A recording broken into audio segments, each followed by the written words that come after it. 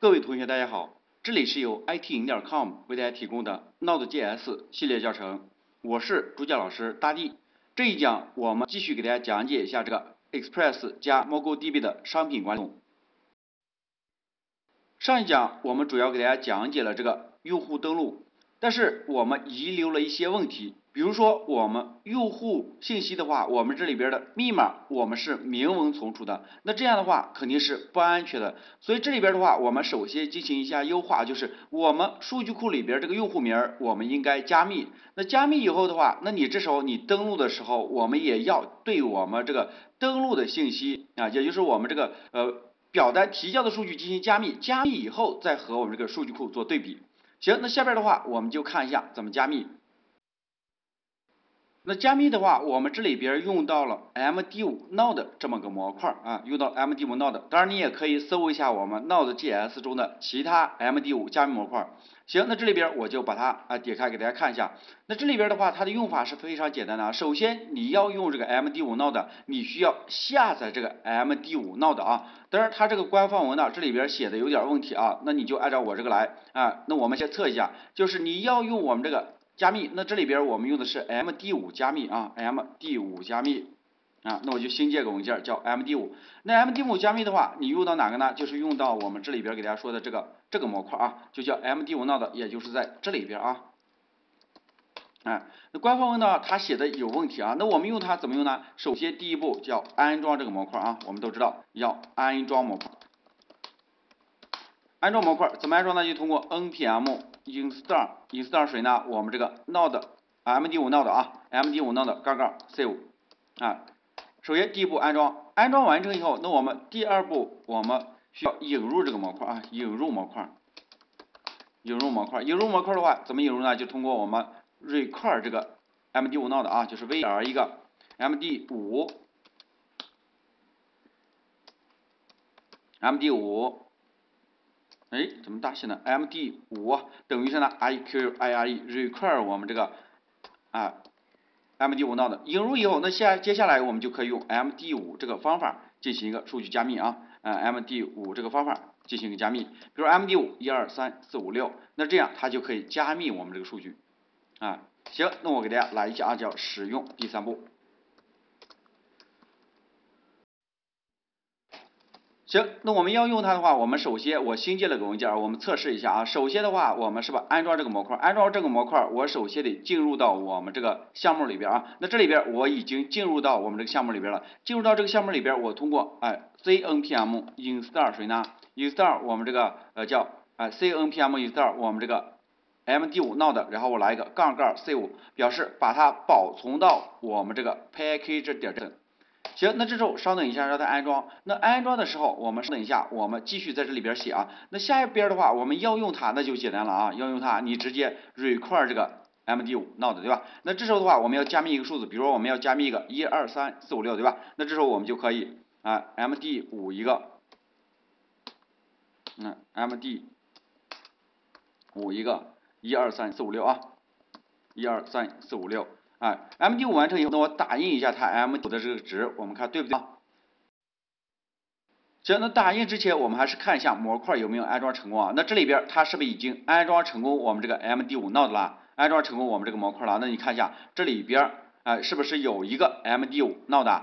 行，那这时候的话我们运行一下给大家看一下啊，就直接运行一下，啊，看能不能拿到我们这个数据。如果能拿到，说明这个模块是不是没问题啊？那行，那这里边是不是 OK 的？啊，那我们加密。这个一二三四五六是不是加密出这么一串数据啊？所以接下来的话啊，我们要实现就是我们这个数据库密码的一个现在加密保存，那这时候我们就要修改一下这个数据库啊。但这里边我就直接修改了。正常情况下的话，那我们这个用户就是用户信息，我们需要在后台进行管理。那数据库的密码的话，它不是明文保存啊，它需要加密啊。那行，那我们修改一下这个数据啊。修改数据的话，那就是啊，我修改一下 db 点 user 点 update。啊，update update 谁呢？update 我们改一下啊，update 我们让这个呃 user name user name 等于谁？啊，user name 等于这个呃等于张三吧啊，我先把张三改一下，user name 等于张三，然后我要设置它值就 dollar 一个 set 啊，dollar set set 什么呢？set 它的 password 啊，password 等于我们这里边的这个值啊，等于这个值。那行，那 password 等于我们这里边这个值。那走一下啊，那这时候我们再 db 点 user 点 find 一下啊，那这时候它这个密码是不是就改成功了？改成功以后，那我们同理把谁也改一下呢？是不是把我们这个 user name 等于这个 admin 也改一下？啊，就数据库你先把它这个密码改一下，密码改一下，那这时候这个密码是不是就是加密保存了？虽然都是一二三四五六，但是如果我不告诉你这是一二四五六，你是不是不知道它是一二三四五六？这就是我们这个密码要加密保存。那加密保存以后，那我们还要要让我们这个程序执行成功啊。那这时候我把这个 MD5 关闭掉啊。然后我们再回到我们这个程序里边，那我还要让我这个程序跑起来啊！你看一下，哎，我重新运行一下，是不我们啊幺二七点零点零幺零点零点幺三零零三啊，我重重新运行一下，那这时候我们这个用户啊就登录不了了。你仔细看，我回撤一下，你看啊，这时候 admin，然后一二三一二三四五六啊，一二三四五六，它就登录不了了。接下来我们就要对我们这个程序进行一个修改啊，进行修改。那为什么登录不了呢？是因为我们数据库的密码是加密的，然后你这里边用户提交的密码它是明文密码，所以这时候的话，我们要在我们这个获取用户名密码以后，我们也要对我们这个用户的密码进行一个加密。加密完成以后，我们再和数据库的对比匹配。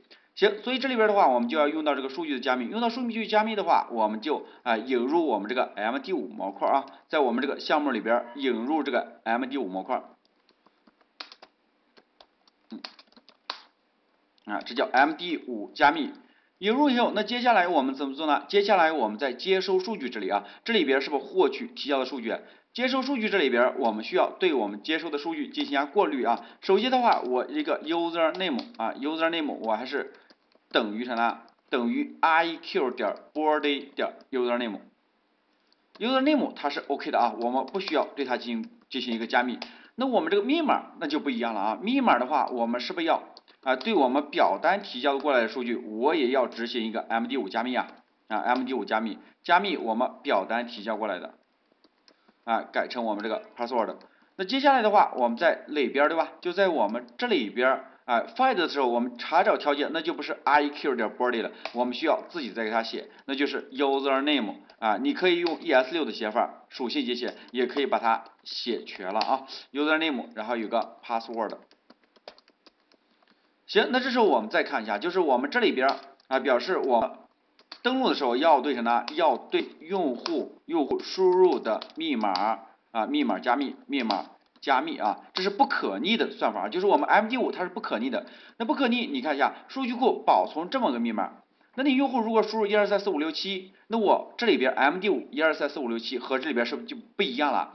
但是如果用户输入一二三四五六啊，那这时候你 MD5 以后和数据库里边的还是不一样，所以这时候是不是就可以登录成功了？这就是我们这个啊，就是我们这个。数据库密码的一个加密存储啊，那行，那下边我们给大家运行一下，看对不对啊？运行一下。那这里边的话，刷新一下，刷新以后，那我重新再输入一个 admin 一二三四五六啊，admin 一二三四五六，然后点击登录，哎，是不是又可以登录了？啊，那这时候的话，其实我们就啊完成了我们这个用户。用户的一个密码的一个加密存储啊，那接下来的话，哎，我们显示一下我们这个商品列表，就进来以后，我们上节课讲的这个数据还是写死的。那下边的话，我们呃，我们这个数据我们要从数据库获取，那从数据库获取从哪个表呢？那我们看一下我们数据库有哪些表啊？我是 db 点 c o l e c t i o n collection 点啊 collection 啊 db 点。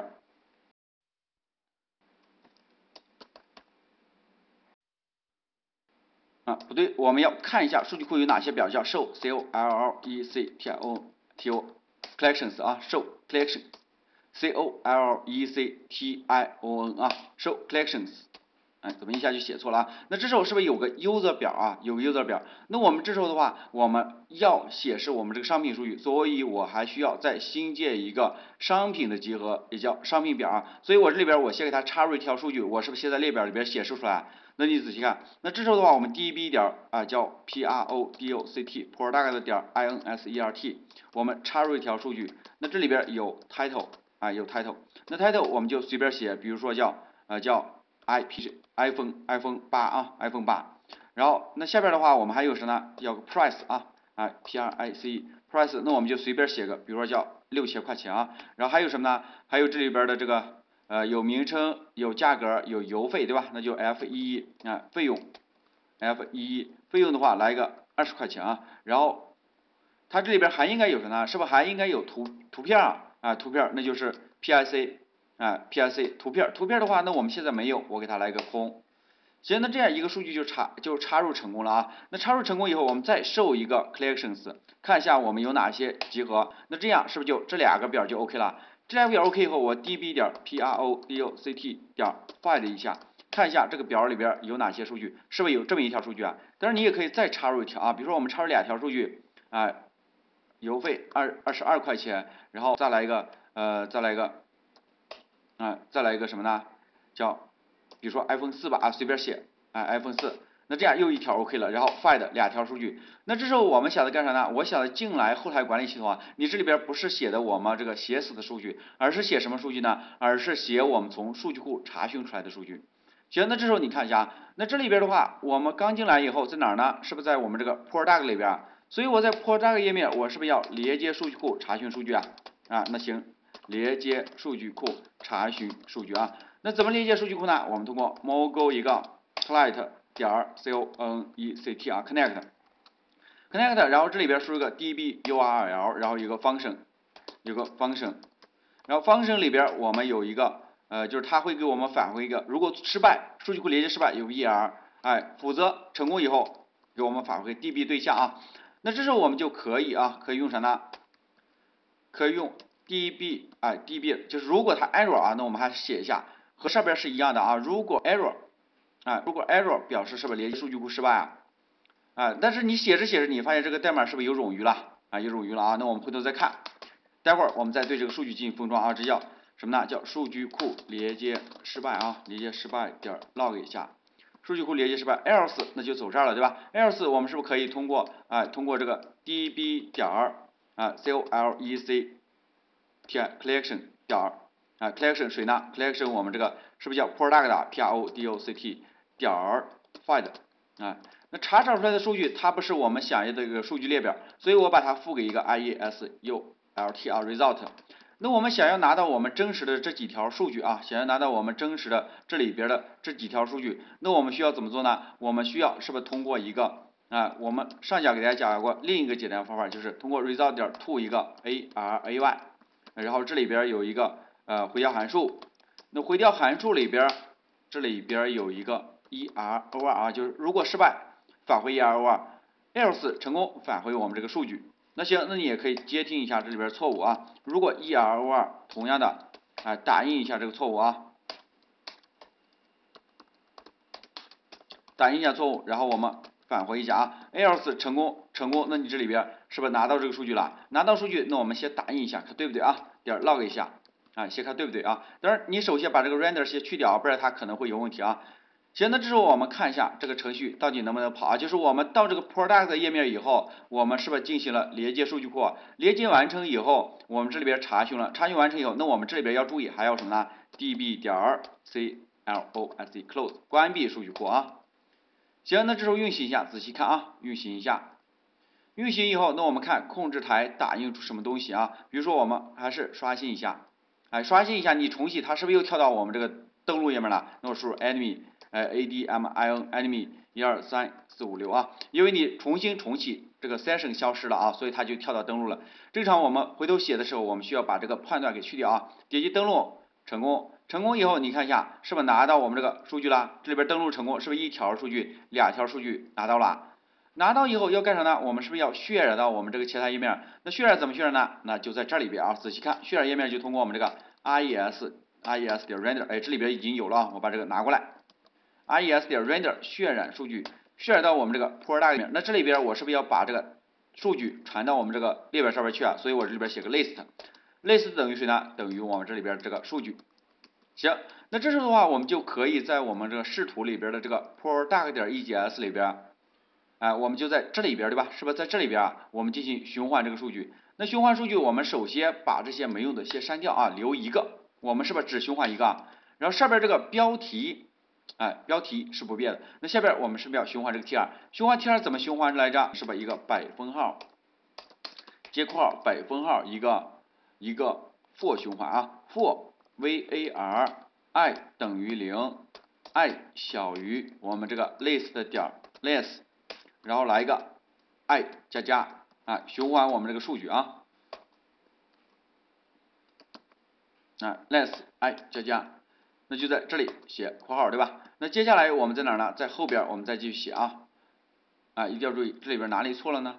啊，先不管它，我们再写一下，然后百分号括号啊，把它写写完整。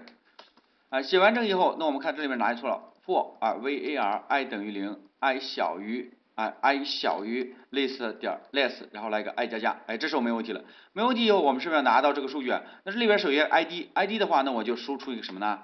啊，因为我们数据库的 id 你肯定现在是不能用的啊，仔细看，数据库的 id 它这里边是不是有一个 i 杠 id 啊？有一个杠 id，然后这里边这么一长串，对吧？所以我们不用这个 id，那用啥呢？那这里边我们就用哎，北分号接括号北分号等于 i 加一，啊，这样去用。然后图标，那图标我们现在是不是还没有啊？所以我这里边就放个字啊，就叫图标啊这个文字。然后下边的话，那这里边啊有它的标题，那就是等于什么呢？是吧？list 一定要注意啊，看这个数据，看这个数据，看数据，是不是这里是一个数组啊？数组我们要拿到这里边 title 是不是？list 下边的 i，i 哎是不是你 list 零下边的 title 啊？所以我这里边得拿到谁呢？拿到 list 下边的 i 点 title，list 下边 i 点 title。那同理，这里边再继续，那还要拿到谁呢？哎，有有什么呢？你看啊，这里边有编号，有图标，有名称，然后还应该有什么呢？呃，有名称，有价格啊。那价格的话，我们看一下叫啥？是不是叫 price 啊？那这里边我再拿到这个 price，包括邮费，那同理，我再拿到邮费，邮费是我们这里边的 f 一对吧？费。行，那这样就 OK 了，OK 了啊，已经 OK 了。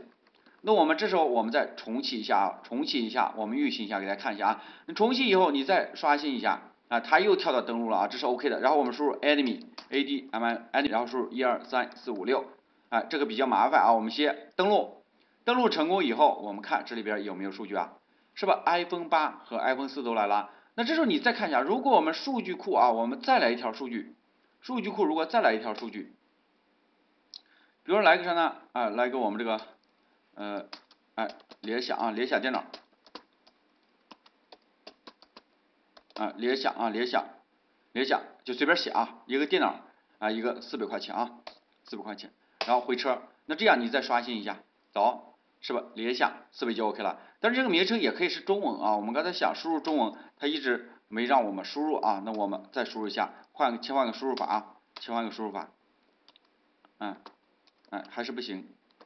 哎，可以了啊，就是，哎，联想啊，联想，走，再来一下，那再来一下，刷一下，是不是就 OK 了？哎，这就是我们查询数据啊。但是你发现有啥问题呢？仔细看，我们这里边的话，以前我们是也是这样做的啊，就是我们这里边你发现我们在这块大概页面，我们需要查询，查询你是不是要连接数据库啊？包括我们在这里边。是不是有个登登录？你是不是也要 Mongo Client 连接数据库啊？包括我们回头还要做什么呢？我们还要做数据的增加，还要做数据的修改，还要做删除等等操作啊。那这时候是不是你都需要连接这个数据库啊？所以我们哎，接下来的话，我们要对我们这个操作数据库的这个方法进行一个封装啊。操作数据库的方法进行封装。那封装完成以后，那我们再继续完善我们这个商品的一个增加、修改以及删除啊。行，那这一讲我们就讲到这里。